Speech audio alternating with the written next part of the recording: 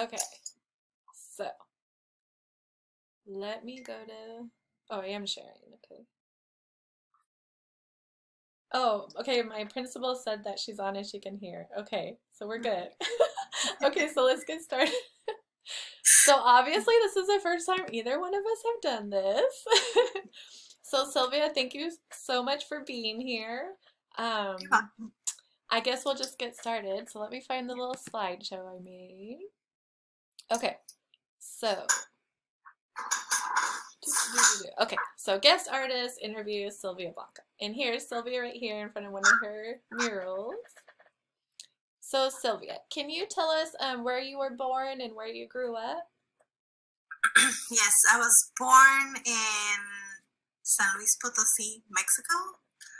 Um, that I grew up there. I didn't move to Houston until I was 10. So most of my childhood was in Mexico and um, the uh, I guess they can see the pictures, right? Yeah, yeah. Tell us who's in the pictures here. So the the one with a bunch of little kids, those uh, that's me and my brother. The youngest one is my brother, and then my cousins. Uh, we we would um, we pretty much were together like all the time when we were little. We used to uh, get together every Sunday. And then the picture, um, it's the the one up, the second one. It's my dad, myself, and my brother. You're so cute.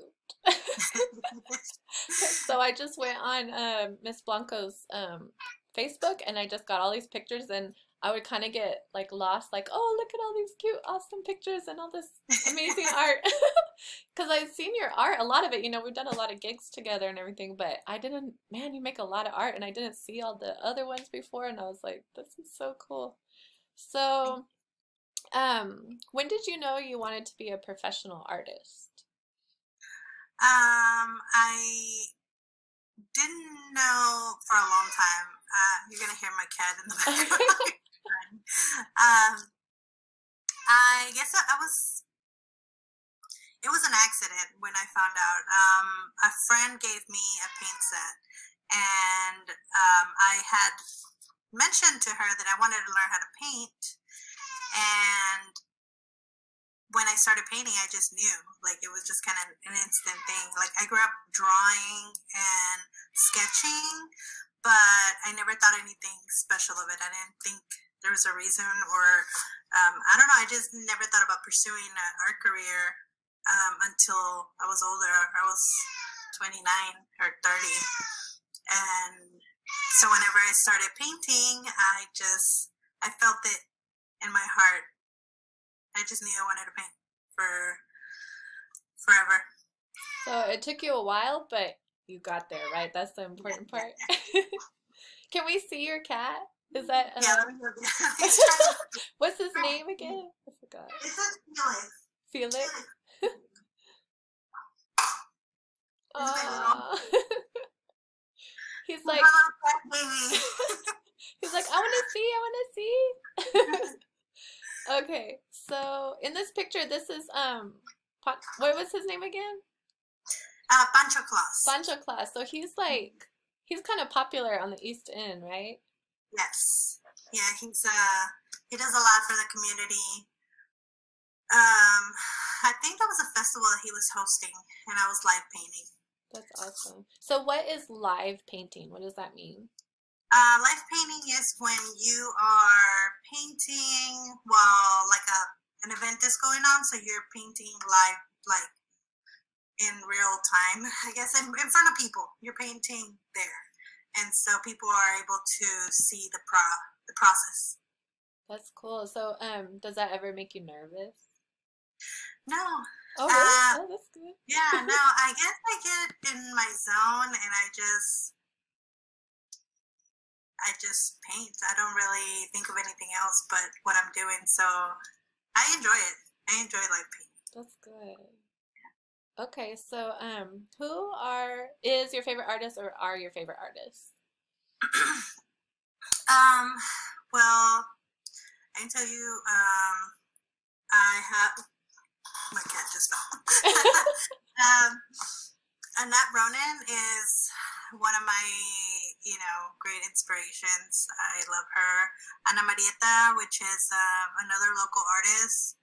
Um, I love her art.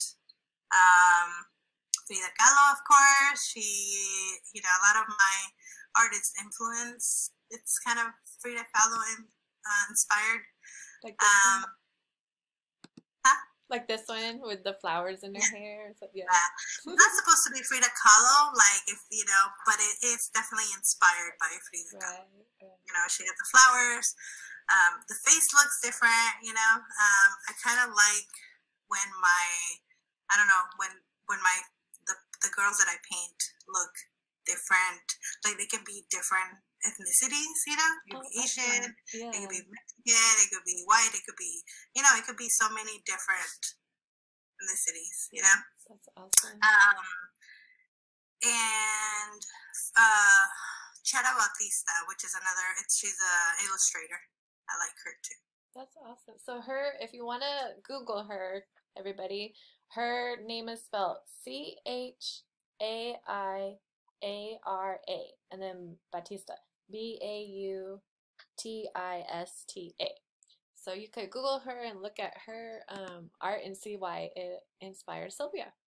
So um, it's interesting. This um, mural. This is a huge mural, right? Like, did it, it took you a long time? Yeah. And then what happened recently? What happened here? Um, it recently got painted. Well, I, I guess um, it's been painted over a couple of times. And yesterday, I decided to um, paint um, like um, the mask and uh, scrubs on her to um, as a thank you to the nurses and everybody that's helping out with what's going on in the world right now. Right, that is so awesome. It's it's really beautiful. And it also shows that with street art, like things are always changing and you just kind of have to deal with it, right? And you have to be pers persistent. Yes, it's yeah, and they're not permanent. Most of them are not permanent. They're just there for a little while, and then you know it changes. Yeah. So I've painted it a couple. I painted her a couple of times already. She that well it kind of makes it cool because she can just keep changing, huh? Okay, a so tell us about um your journey as a muralist. When did you start painting murals? Um, it was in 2014. Um, I was I started painting like in 2010, so I was still ex- um, teaching myself. And in 2014, there was an artist call for a street art uh, mural that uh, the theater wanted, and so they uh, they uh, asked me to paint. Well, they chose me. I submitted some art, and then they chose me to do it. And that particular one with the camera, that one was I was invited to paint that wall by somebody that was running um, a food park, food truck park.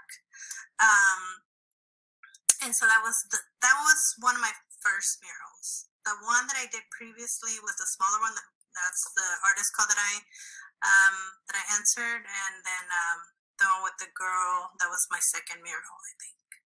Oh, it's so pretty. I just love it. Yeah. Um, so um, kids, if you can see right here where it says Bow, it's funny because that's our friend Bow, and he's the one who painted that llama that you saw hanging up in my classroom. So I don't know why. Why did he put his name up there? I let him borrow the the ladder, and he went up there. He's like, I just want to paint too. yeah. So um, tell us about this one here with the um the, the strong girl. She's like a luchador or Mhm, Lucha, yeah, the luchadora. luchadora. Um, Okay.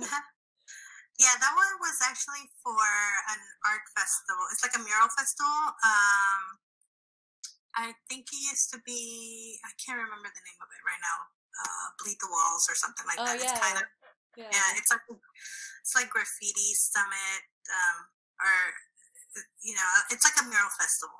Yeah. So there's a lot of people that go and paint walls, and that, and that's that's the one that I painted that particular year.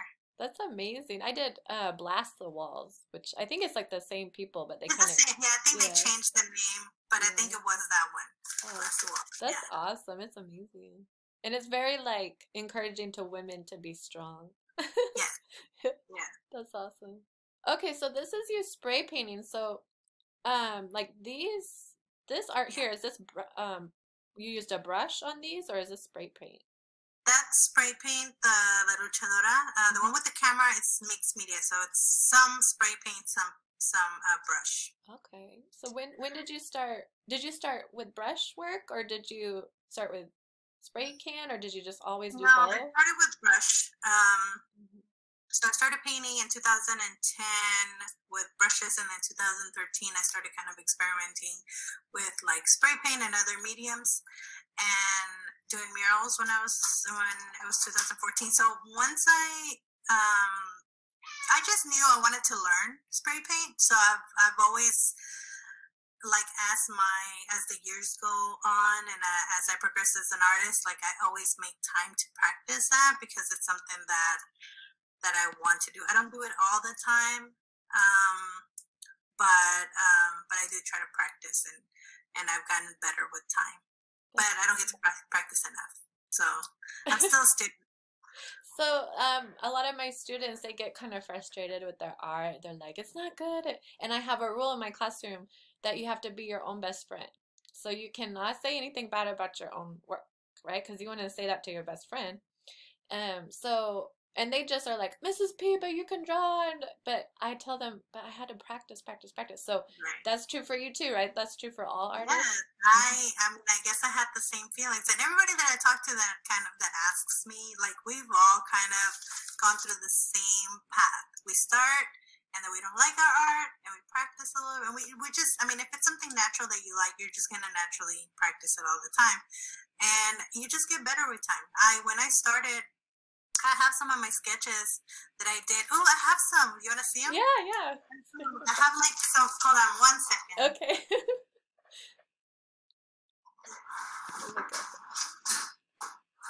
At I just found them the other day, so I'm like, let me save them. So these are pretty old. They're, oh, they're like my elementary. Oh. So you you've been like painting um animals and stuff for a long time then. Yeah. Yeah. That's in elementary? Oh. I saw the other day and I was like, oh my god. That's perfect. Oh Houston. wow. Wow. And so you like laminated them to protect them, right? Yeah. Yeah. And so Awesome. they lasted. Yeah. Um, so that's what I mean, you know, like this is where I started, you know, like it's, it's not, it's, it's, it's, you know, it's just practice and, um, time and, and being kind to yourself, you know, just, just trusting the process is the main key. Knowing that as long as you practice, you're gonna get better. If you keep doing it, there's no way you're gonna get worse. you Right, know? right. It's gonna be better every single time. And you're gonna feel comfortable to it, and then you get to learn to be your own individual artist. Because at first, what I used to do was I copied a lot of the cartoons. You know, like I did a lot of characters. So I used to do a lot of cartoons and cartoons. So I didn't, you know, it was just just for fun. Um, and and then I didn't start painting until I was 30. So, you know, now 10 years later, I can paint a little better than from when I started. But it's, you know, it's it's just the practice and the time and the effort that you put in. Yeah. You're gonna be as good as you wanna be as long as you keep going, right? That's awesome. So, um, tell us about this right here. This is like um like graffiti style artwork, but y'all had permission, right? yes, this was, yeah, we got hired to do this. Oh, Um, cool. this was for a play. So they needed a background to be painted kind of with graffiti. So there's that group of, of people, we all went in and just kind of freestyle, just organ, let it, you know, let it happen kind of organically. So we didn't go in really with a plan. It was just for fun. Uh, but yes, I've never done anything illegal. Everything I've done has been with permission. Oh, that's good. That's